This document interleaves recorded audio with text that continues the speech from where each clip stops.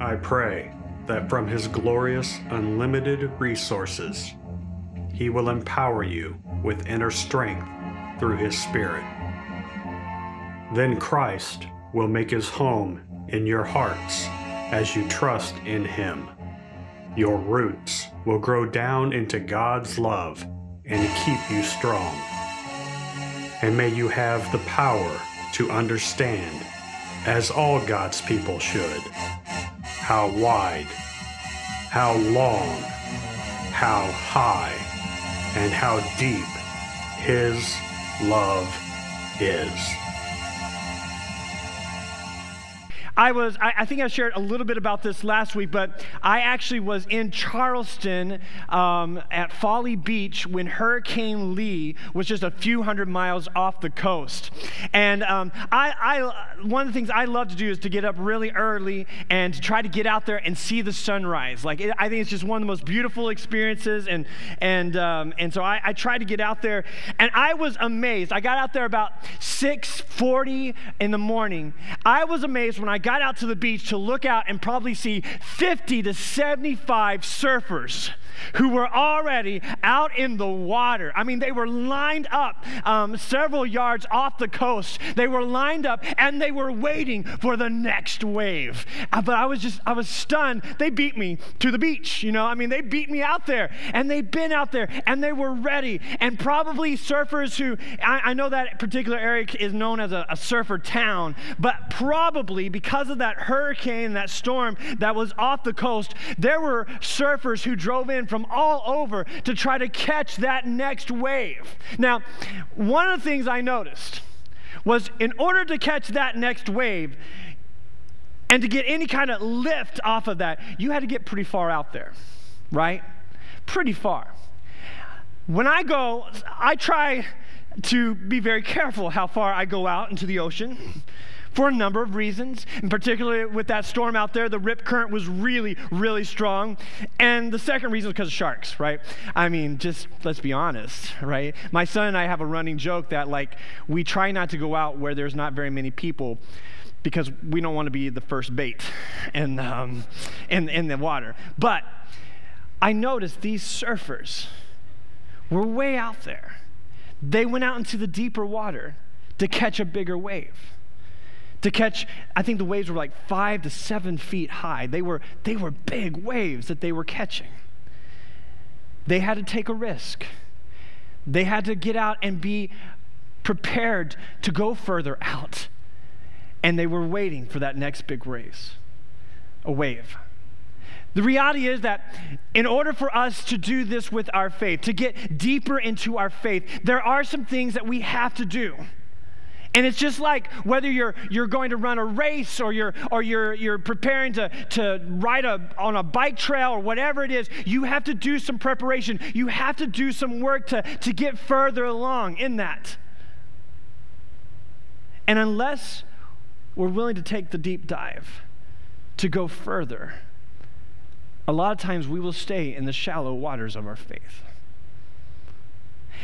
What I hope will happen over these next few weeks I hope that you will not just stop with the messages that we talk about on Sunday mornings, but together we will seek and go deeper into the scriptures we talk about.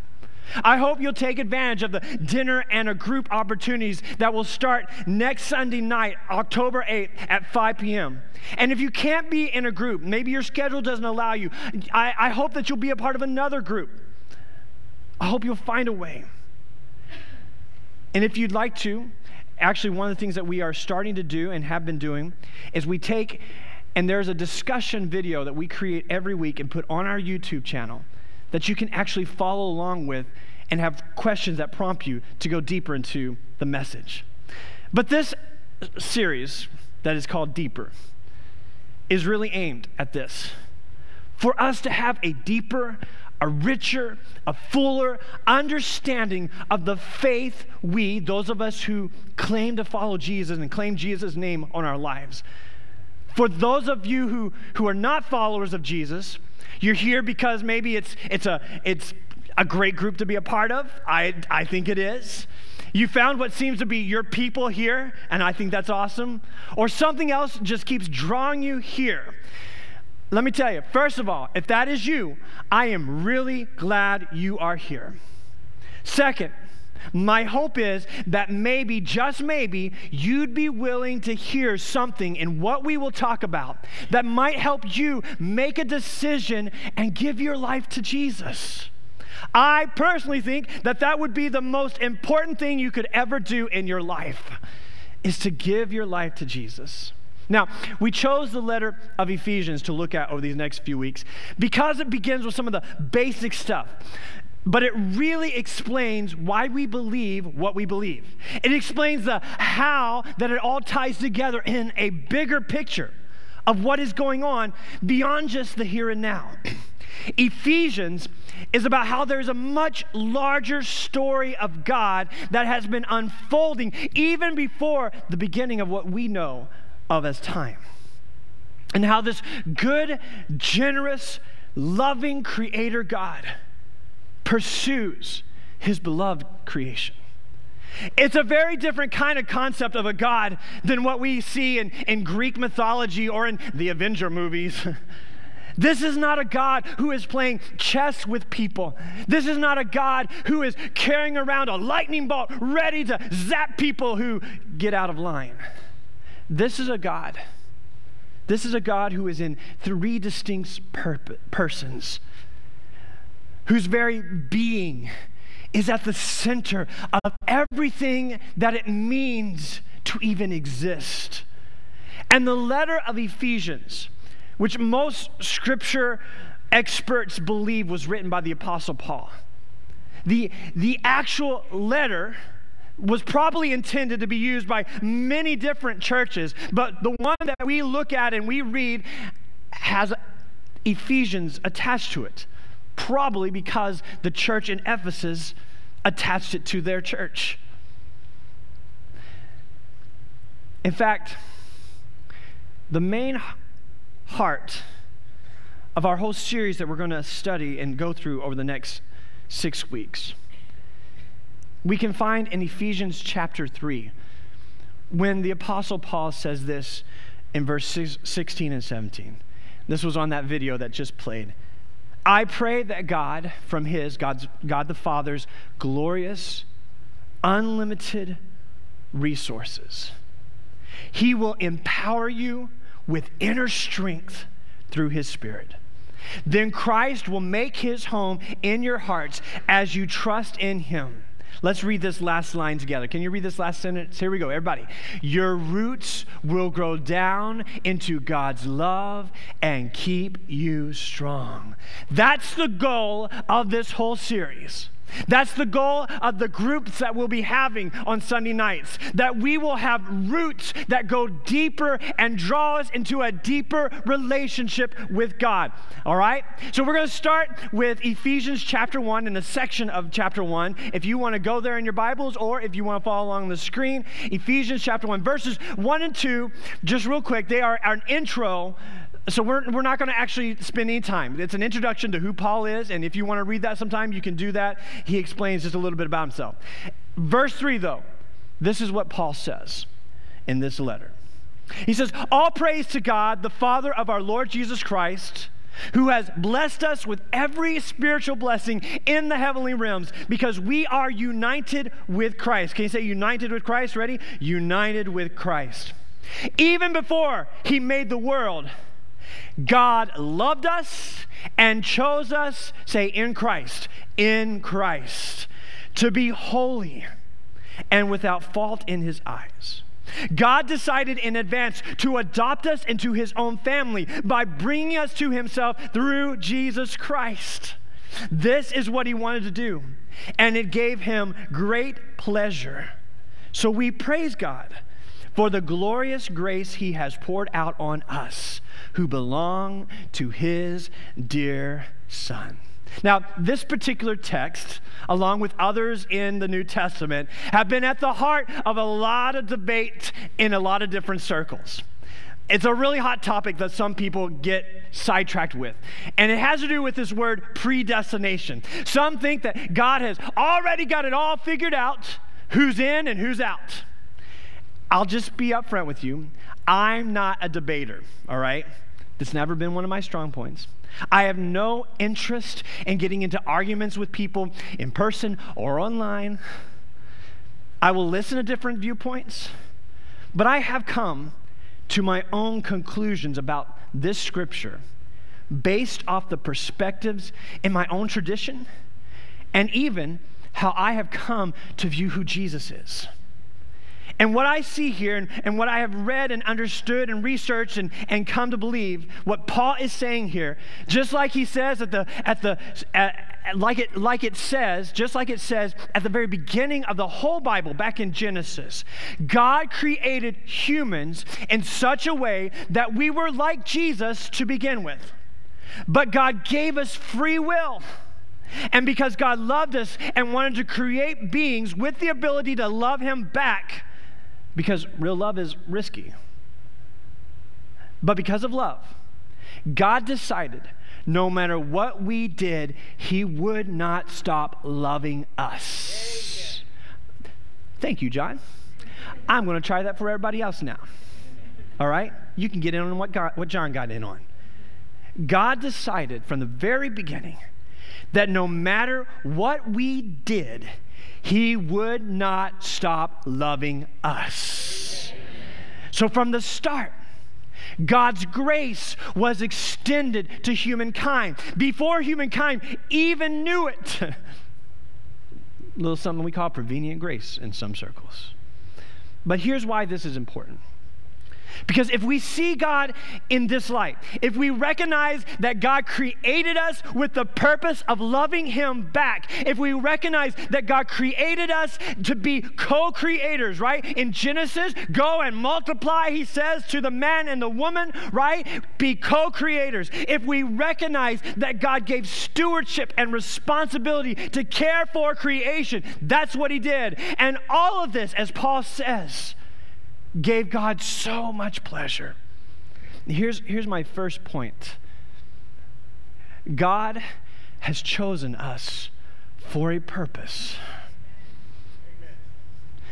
Even if you were to go back to Genesis and look at the story of, of God choosing a man named Abraham, the great father of the people of Israel, the one who God had called to start a new race of people out of, God promises Abraham that he would make his, his, his descendants more numerous than Abraham could even count.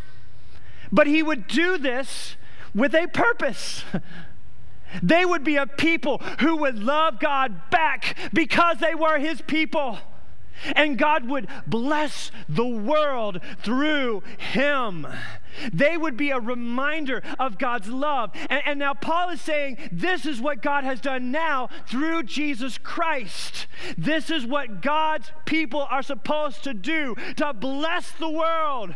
God will bless the world through us. God has given us a purpose. God has given us a purpose for every area of our lives for every moment that we might come in contact with people, thinking about how God blesses the world. This, this week I went to lunch with someone, and we were, we were just getting together and catching up. I was having lunch with Tony Cirillo, Pastor Tony. And as we sat there and we're talking, our waitress came up to us. And if you know Tony, Tony gives everybody a hard time. So he gave the waitress a hard time. And you could tell she was really connecting with, with Tony. And she said, Well, what's your name? And he said, My name is Tony. And she said, That's my dad's name. He said, Oh, really? He said, Well, tell your dad he's a good person because that's a great name, right? And she said, Well, my dad and I are not in really good, in a really good relationship right now. My dad doesn't approve of the relationship that I'm in with my boyfriend. And she said, It's really hard. She said, My heart is broken. I mean, she just started to pour out her heart right there. And I had a chance just to talk with her a little bit more and, and talk about what it means to be a dad and how dads and daughters and, and, and kids and, and that relationship and how hard it is at times. And I was able, at the end of our conversation, I said, Can I just pray with you for a moment? And she said, Absolutely. And she bent down and we, we, we just prayed right there, me, Tony, and her. And when she got done, she said, I needed this today. I needed this today. God blesses the world through us. God has chosen us for a purpose. Let's keep going. This is what Paul continues to say in Ephesians, picking up in verse 7. Speaking of God, Paul writes, He is so rich in kindness and grace that He purchased our freedom with the blood of His Son and forgave our sins. He has showered His kindness on us, along with all wisdom and understanding. God has now revealed to us His mysterious will regarding Christ which is to fulfill his own good plan. And this is his plan. I love it. Here we go. We get to we get in on the plan. Ready? At the right time, he will bring everything together under the authority of Christ. Everything in heaven and on earth. God's not done. Here's my point number 2. God has chosen us through Jesus this concept of, of the blood of Jesus. We, we sing about it, we talk about it at communion. And I know that, that at times, if you really thought about it, it can seem foreign because it's a different kind of language. But here's where this comes from. When the, when the people of Israel were, were in Egypt, and they had been slaves for 400 years, and, and, and God sends Moses, this great leader, to go back in and, and to lead them out. When Moses confronts the, the king of Israel or king of Egypt, Pharaoh, Pharaoh refuses to let him go. He won't let his slaves go. He won't let the people who were running the economy underneath the, the load of, of their captive captors. He won't let him go. And so God sends these plagues, and there's this, there's this tension and this, this wrestling and this struggle between Pharaoh and Moses. Really, it's between Pharaoh and God. Ultimately, it comes down to the end, and God has had enough, and He's going to move, and God is going, His presence is going to move upon the land of Egypt. And so He tells the people of Israel, He says for them to, to get a goat or a lamb. It needs to be one that, that has no, no problems, it needs to be in good condition, and it needs to be a male and they're to take and they're to sacrifice that animal. And with some of the blood from that animal, they're to take it and they're to put it on the doorpost of their house. And what God instructs them is that when His presence comes through that land, anyone who has the blood on the doorpost will be safe and saved. This is where this concept comes from. It took this harsh act to break the Egyptian king's hold on the people.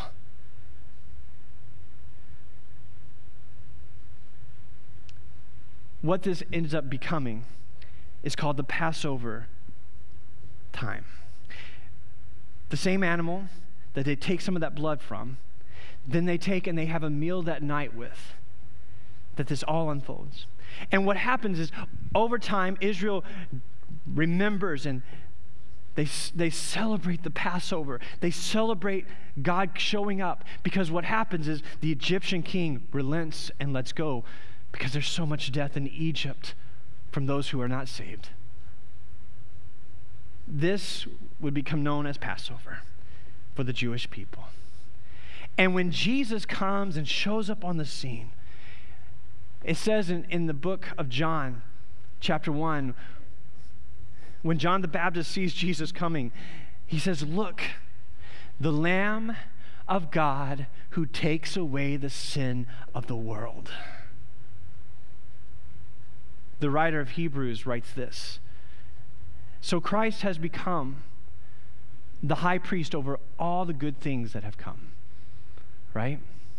He has entered the greater, more perfect tabernacle in heaven which was not made by human hands and is not part of this created world. Listen here with his own blood, not the blood of goats and calves, he entered the most high, holy place once and for all time and secured our redemption forever. Forever. The Apostle Paul writes to the church in Corinth, he says this, and so we have stopped evaluating others from a human point of view. At one time, we thought of Christ merely from a human point of view. How differently we know him now. This means that anyone who belongs to Christ has become a new person. The old life is gone, a new life has begun. And all of this is a gift from God who brought us back to himself through Christ. And God has given us this task of reconciling people to him. For God was in Christ reconciling the world to himself, no longer counting people's sins against them. Why? Because of the blood of Jesus, right? And he gave us this wonderful message of reconciliation. So we are Christ's ambassadors. God is making his appeal through us. We speak for Christ when we plead, come back to God. For God made Christ, here it is, who never sinned, to be the offering for our sin so that we could be made right with God through Christ. You see what happens there? That's why it matters that Jesus went to the cross. Let's, let's go back to Ephesians 1 and finish out this section. Picking it up in verse 11. Paul says, Furthermore, because we are Say this together. Ready? United with Christ. Let's do that together. One more time. Ready? United with Christ. All right? We have received an inheritance from God. For he chose us in advance and he makes everything work out according to his plan. God's purpose was that we, because Paul is a Jew, or was a Jew, we Jews, who were the first to trust in Christ, would bring praise and glory to God. And now you Gentiles have also heard the truth. That's us, everybody, Gentiles, right here. The good news that God saves you.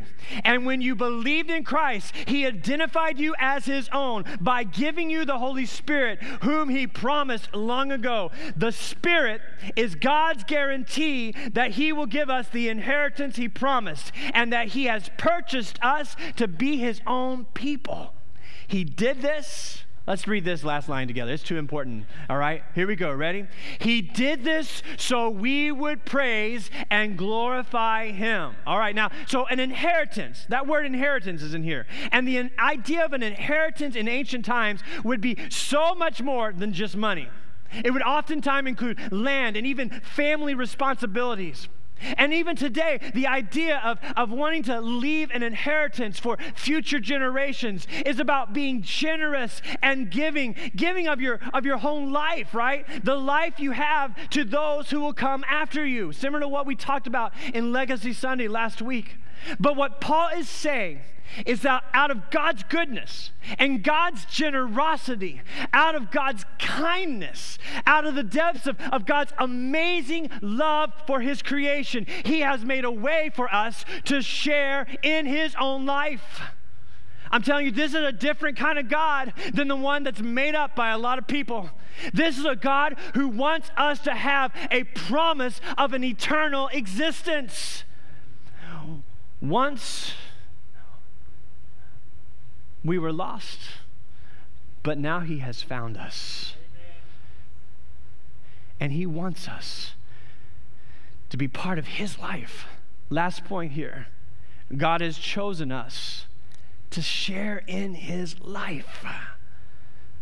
Throughout this whole section here, we see that we bring pleasure and joy and, and happiness to God. You ever thought about that? When we believe in Jesus, when we put our faith in Jesus, when we, we set our eyes and our hearts on Jesus, it brings so much joy to the one who created us. And through Jesus, we can actually share in God's own life. We have a future with God because of Jesus. And we have a taste of that future because of the gift of the Holy Spirit.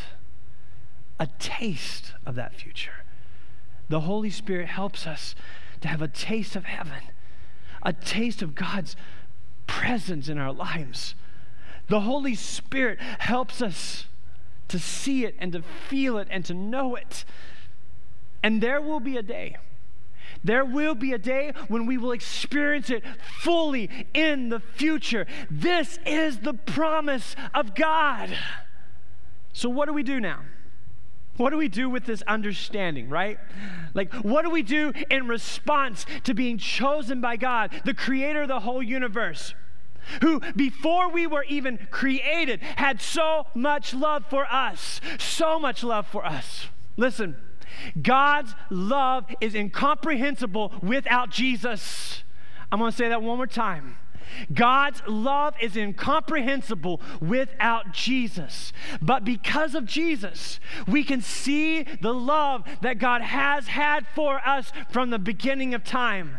And what does it mean to know that you can actually be so loved, so valued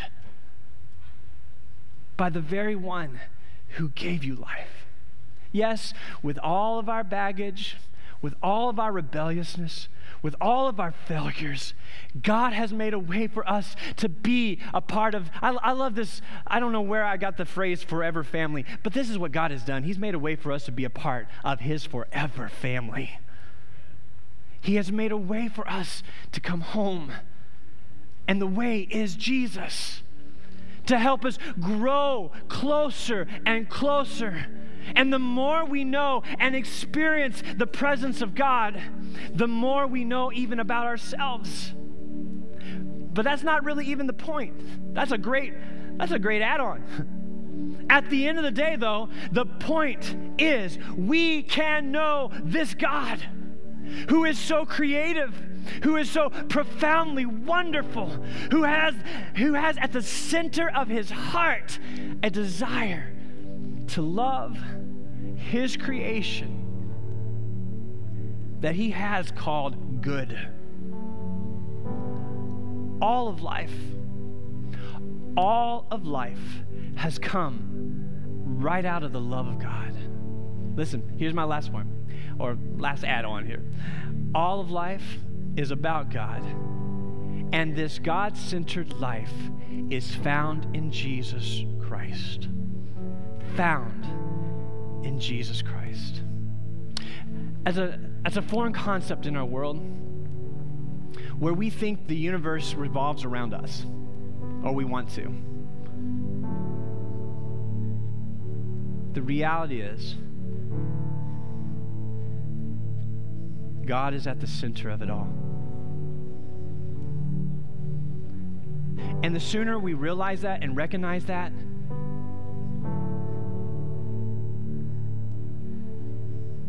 the sooner that we trust Jesus to experience it.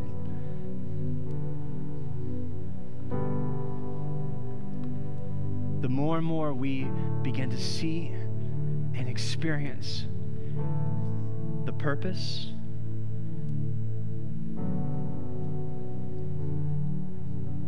peace, and the hope that is found in this God. Would you bow your heads, close your eyes for a moment? God has chosen us for a purpose. God has chosen us through Jesus. God has chosen us to share in his life. Here's the deal, though you know and I know that just because you're chosen doesn't mean that you accept it. And God's not going to force himself on anybody. God is inviting us to embrace to embrace this purpose he has for us. To embrace this love he has for us. So I want to give you a moment, give you a chance today to respond.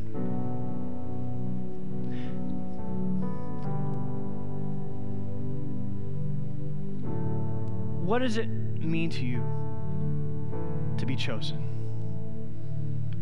What does it mean to you to know that God has a purpose for your life? What does it mean to you to know and to recognize and to realize what Jesus has done for you. How will you respond today? Maybe today you need to start with Jesus and you need to say yes to Jesus and give your life to him. So let's take a moment right now. If you are in that at that point in your journey, would you say this prayer? Jesus, I give you my life. I confess my need for the forgiveness of my sins. I trust that you do forgive me and I receive your love. Today, if that was your prayer, you can have confidence, first of all, that God answers your prayer today. He answers your prayer with forgiveness and a new beginning.